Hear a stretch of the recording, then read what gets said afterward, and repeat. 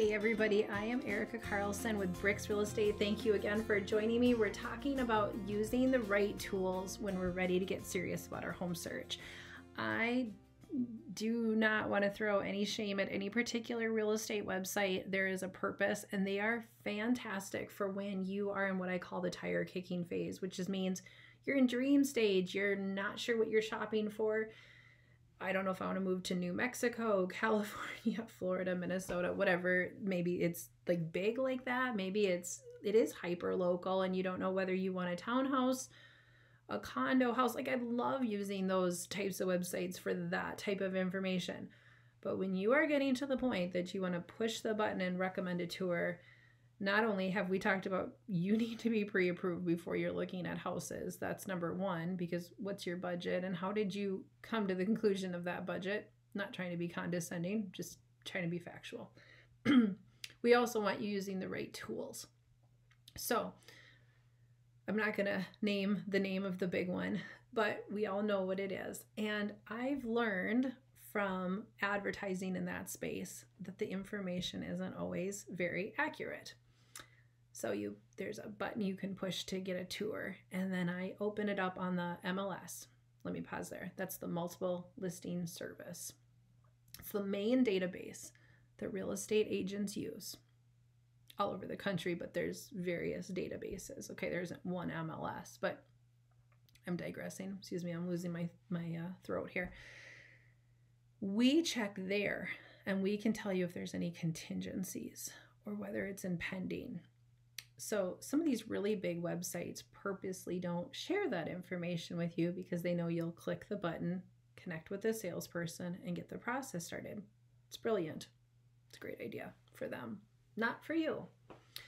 You're serious about purchasing a house, and now that person on the other side of the phone goes, That one's not available. That hasn't been available for weeks, but you wouldn't know that. You can't see that because your tool isn't strong enough to see that. Um, so that's when it's time. Even if you think I'm months away, weeks away, there's no shame. It does not cost you money. It does not change anything to ask a realtor to set up an actual search for you on the MLS.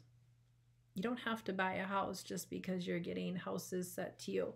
We have um, just as many capabilities, if not more, than these websites to set up exactly what you want. We can tweak it along the way if you change your perimeter in any sort of way, we can change it with you. And I think even my tool now is like letting people set up their own searches that I don't know about. I don't know what they're doing. And I sometimes have to ask. So, putting that aside, that is the premier um, tool and that you do not have access to as a general consumer. That is a part of what I'm paying for to be a licensed real estate agent is to get access to that database.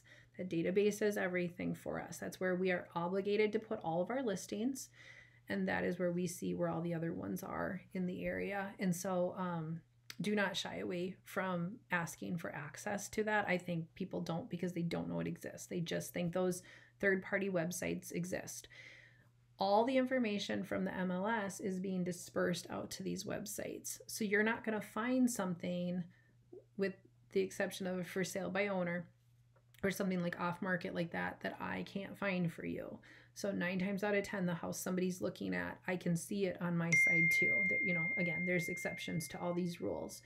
Um it, and I felt like I had one more thing I wanted to tell you, but I guess the bottom line is that you're spending time looking at the wrong houses. If you are serious enough to start shopping for a house, then you are ready to have a real estate agent set you up on a proper home search. And then you shouldn't have to feel goofy or weird about asking for that at any time.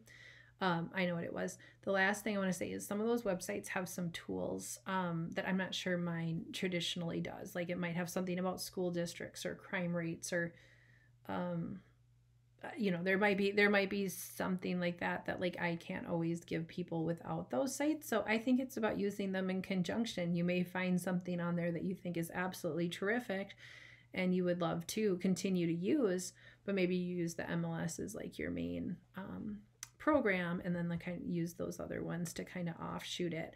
Um, and then the last thing I was going to say is if you're finding things your agent isn't sending you, it's because you told your agent a different requirement. So, for example, I'll have someone tell me I have to have a four bedroom, and then they're on one of those programs looking at three bedrooms. Of course, I didn't send it to you. I didn't know that you dropped it to three bedrooms. So, it's just about communication. Um, happy to set you up on one of those searches. Uh, no cost, no obligation. Love to hear from you. Thanks.